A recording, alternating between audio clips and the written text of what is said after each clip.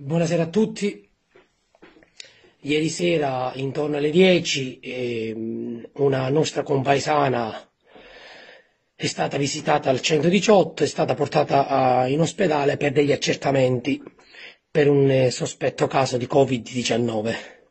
È stato fatto il tampone e poco fa il direttore sanitario, dottoressa Marcella Santino, mi ha comunicato che il tampone fortunatamente è risultato essere negativo, quindi cioè non è un caso sospetto di coronavirus. E pertanto auguriamo come cittadinanza alla signora una pronta guarigione. Detto questo, dobbiamo attenzionare alcune situazioni che si stanno verificando. Moltissimi di voi hanno fatto dei cartelloni scrivendo andrà tutto bene. Moltissimi lo scrivono su Facebook, nei messaggi, ma io vorrei capire come andrà tutto bene. Come andrà tutto bene se continuiamo ogni giorno ad uscire per fare la spesa, quando la spesa si dovrebbe fare una volta ogni dieci giorni? Come andrà tutto bene se ogni giorno tantissime persone escono per andare a comprare le sigarette, al posto di prendersi, dato che hanno il vizio del fumo, va bene, non entro in merito, ne prendono parecchie, se li mettono a casa, non invece escono per andare a prendere le sigarette ogni giorno. Come andrà tutto bene se la gente va e viene dal benzinaio? Ma questa benzina cosa serve se dovete rimanere a casa? Come andrà tutto bene se tantissime persone chiedono di avere fatti i capelli a casa, il, il parrucchiere a domicilio, ma sti capelli a cosa servono? Questi capelli fatti in questo momento a cosa servono? Me lo fate capire?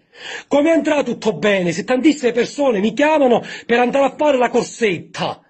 Perché sono stressati. Ma ragazzi, io, stu- io corro da vent'anni, tra alti e bassi corro da vent'anni. E a Delia, quelli che corriamo siamo massimo una ventina. Ora tutti i podisti sono diventati a Delia. Tutti che vogliono correre. Ma dove andate a correre? Se l'ultima volta che avete fatto un po' di corsa è stata quando avete fatto la corsa campestre, a scuola elementare, ma dove andate a correre? Ma vogliamo fare le persone serie? Mi chiamano sindaco, io devo andare a Canicattì a fare eh, la spesa. A Canicattì non ci puoi andare a fare la spesa. La spesa la fai a Delia. Salvo che ti serve qualcosa di importante che a Delia non hanno. Un farmaco salvavita, una, un alimento per un'intolleranza. Dove vai? Mi chiamano sindaco, il mio cane mangia le crocchette che vendono solo a Caltanissetta. Ma questa la chiamiamo serietà. Ma questa la chiamiamo serietà. Lo chiamiamo buonsenso. Gente che ha i figli che vengono da fuori Sicilia, perché ormai siamo tutti in zona rossa, e i familiari escono. E li dobbiamo richiamare noi. Oggi di domenica, tantissime persone in campagna a roostere carne, a fare barbecue, ma stiamo scherzando?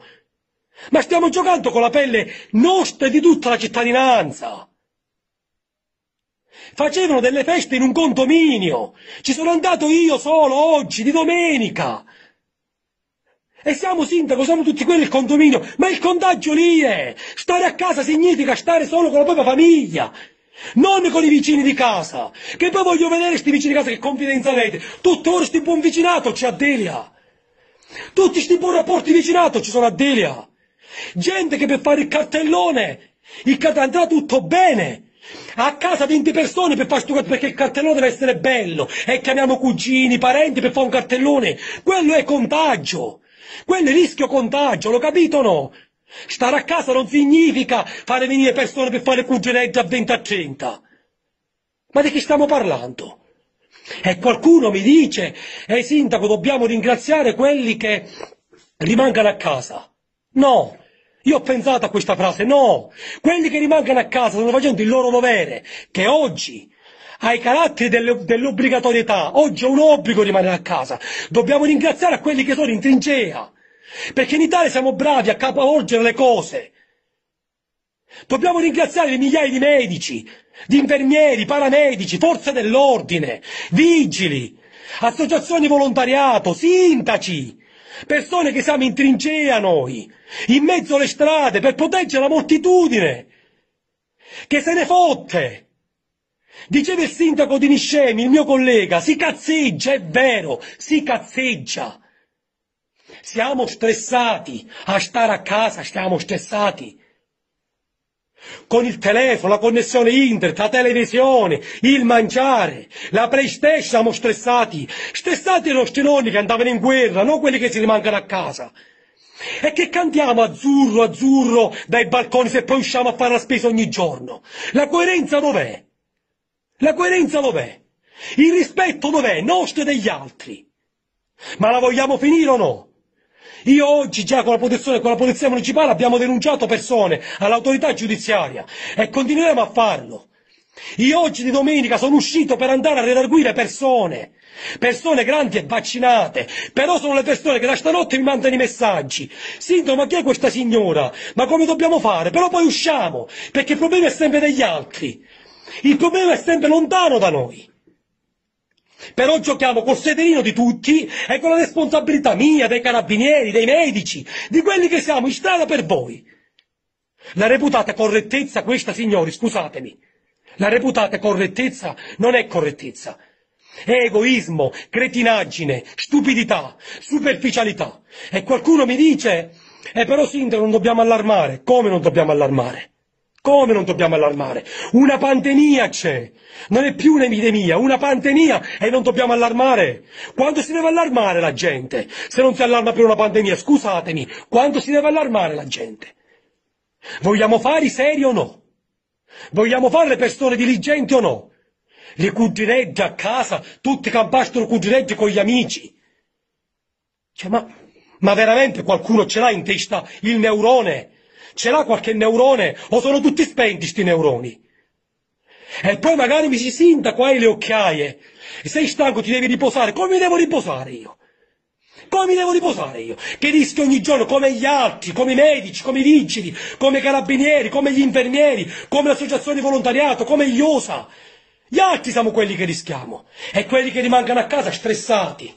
Stressati, devono uscire. La corsetta la passeggiata del cane. Vengono persone davanti a casa mia che stanno in tutt'altro punto del paese. Ma sto cane quante volte la va a fare la Pepe? Il cane deve uscire nella zona limitrofa a casa vostra e ritornate a casa, non una passeggiata. Le persone col passeggino vanno da mia sorella. Ma dove vai da tua sorella? A casa chiede. Lo capisci o no?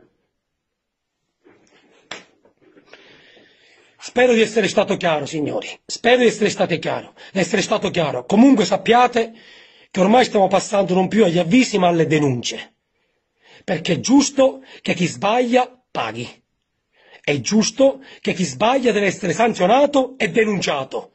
Perché qualcuno evidentemente non riesce a collegare ancora il cervello. E non è perché è lento, come ho detto nello scorso post, perché è ritardato. Perché è ritardato, di questo si tratta. Grazie signori. Buona serata a tutti.